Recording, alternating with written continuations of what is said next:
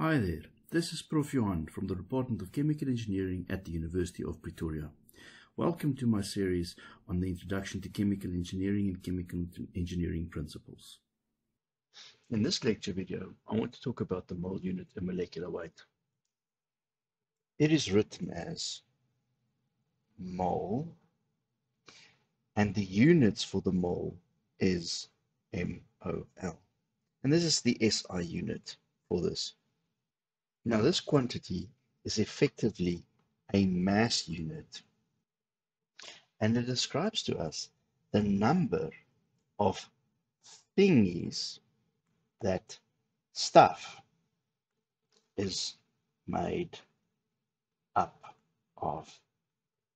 So what I'm referring to, I'm referring to the number of atoms or molecules or other things like uh, electrons that certain things matter is made up of. And this number is called the Avogadro's number, which is 6.022 times 10 to the power of 23 thingies. So in one mole of carbon, there would be 6.022 times 10 to the 23 atoms of carbon. And this will comprise of a certain mass. Now, when we talk about moles, we must also be able to understand that this is something that scales, like I said, SI unit, with the rest of the SI units. So the mole that we're referring to in the beginning is basically a gram mole, and that's per definition again. We can then also have a kilogram mole.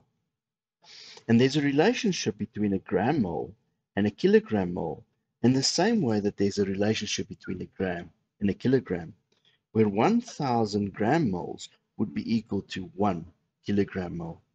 We could also go to a pound mole, where the relationship between the pound mole and the kilogram mole will be the same as the relationship between a kilogram and a pound.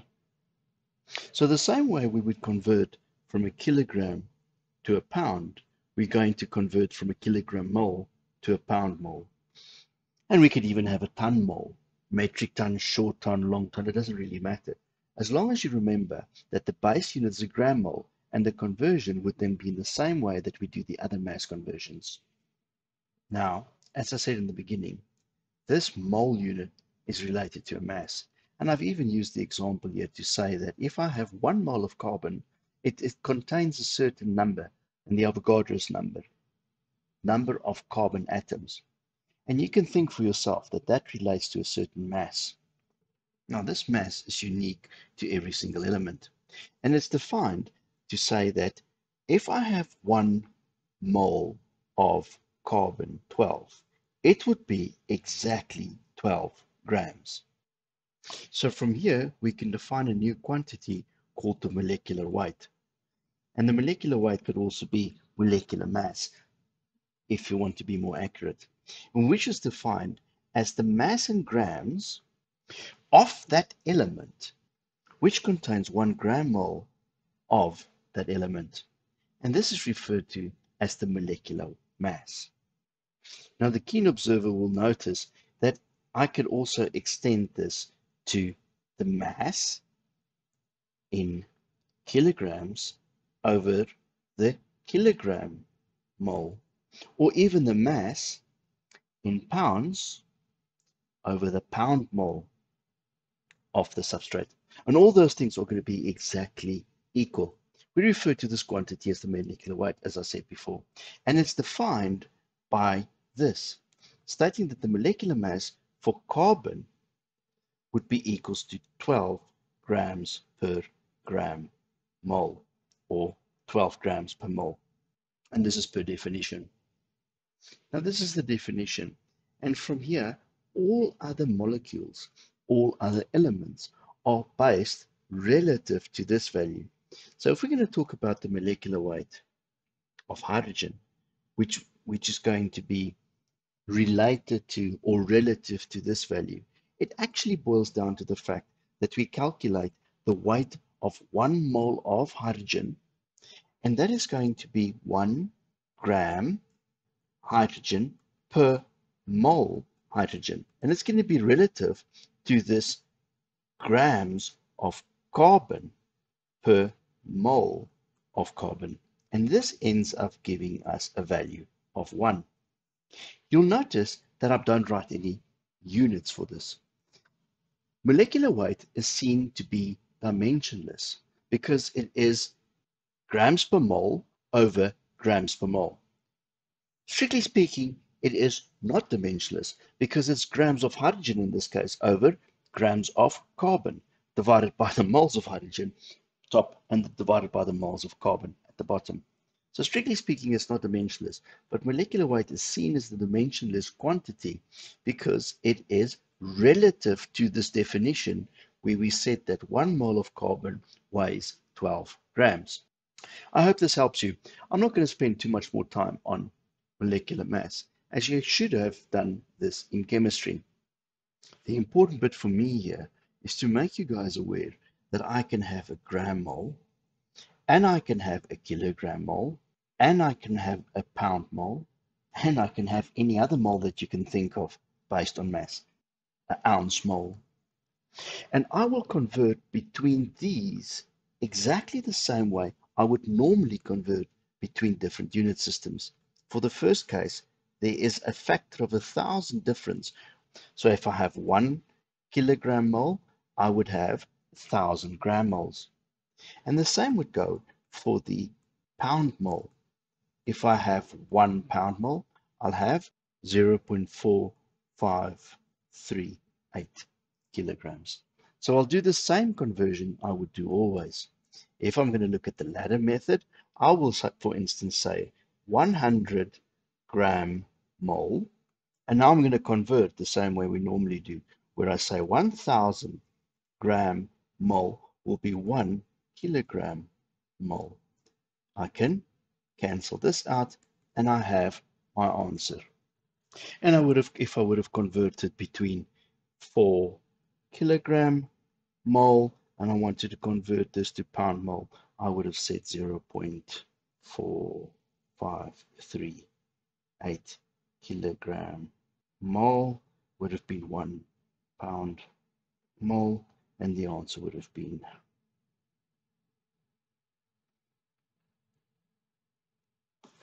Same way we convert always, we can convert between the different unit systems for moles. The next thing I want to talk about is the average molecular mass. So here I've referred to the molecular mass. But what if we, for instance, talk about air consisting of O2 and N2? And there's a certain concentration of the O2 and the N2 in air. And we can estimate this or approximate this as 21% O2 and 79% N2 in air. We can now lump air together and say we have 100% air. And this 100% air will have a certain average molecular mass. So because it's made of, of oxygen, which got a molecular mass of 32 grams per mole, and we have nitrogen, which got a molecular mass of 28 grams per mole, I actually think to be more accurate, we're going to use 28.2 grams per mole. I can now calculate an average molecular mass for air because 21% of air is oxygen and 79% of air is nitrogen. 100% of air will have some sort of average molecular mass and we can calculate it in this way. If I have 1 gram mole of air, this will consist out of 0.21 gram moles O2 and 0.79 gram moles of N2. You can see if I add these two together, I'm going to get back to this 1 gram per mole. So I've basically taken this fraction, multiplied it by the total moles of air to calculate the moles of O2. And the same for the N2. So if I do my normal unit conversion thingy, I'm going to say 1 gram mole air. So gram mole air would be 0.21 gram mole O2 And now I would say 1 gram mole of O2 would be 32 grams of O2 coming from the molecular mass. And I will calculate that this equals to 6.72 grams of O2. And in the same way, we can do the nitrogen. And we calculate that one gram of air contains 22.28 grams of N2. Now, if we add these two together, we end up getting 29.0 grams of air because the O2 and the N2 together is equal to the amount of air for every gram mole of air. This means that the average molecular mass for air equals 29 grams per mole. We could also have done this in another way. We could have said that the average molecular mass for air is equal to this percentage of N2, which is the moles of N2, over the moles of air. And I want to calculate the average molecular mass. So I'm going to multiply this with the molecular mass of N2, which is the grams of N2 over the mole of N2. You can see these cancel out. And I would add that to the fraction of O2, which is now the mole of O2 over the mole air. Because I'm working with O2, I need to multiply it with the molecular mass of O2. These cancel out again. And I end up with a quantity of, and this is now grams N2 over mole air plus, and this is the grams of O2 over mole air. And you know, if I have a common denominator, I could add these two things to each other. And the grams of O2 plus the grams of N2 equals the grams of air. So this will become, and there I have the average molecular mass for air, calculated in two different ways. Now this brings me to the last important bit on moles and the mole unit. And that is what we have done here. This is a mole fraction. So it tells me that there is some sort of fraction. This tells me that there's some sort of fraction based on moles where I have the mole of stuff over the mole total. And I also have a thing where I have a fraction of mass, where I have the mass of stuff over the mass total. And what is important to note is that these two quantities are not the same. This is the total moles and this is the total mass. And the total moles and the total mass cannot be the same. And for that reason, the mass fraction is not equal to the mole fraction. Now, why is this important? This is important because at some stage, you're going to tell me that the mass fraction multiplied by the molecular weight equals to some sort of thing. And this is absolutely not true. Why is this not true? This is not true because molecular mass is the grams of stuff over the gram mole of stuff. So if I'm going to multiply this by a mass fraction, now the mass fraction is mass of stuff over mass total. And you can clearly see that these two things do not cancel out.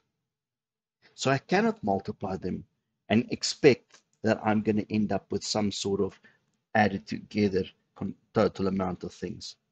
For me to do this, I need to use the mole fraction where I have mole of stuff and mole total. And now it will cancel out and I'm going to end up with gram per mole or the molecular mass for that fraction of the component. So I can calculate the average molecular mass by working with the mole fraction, not the mass fraction.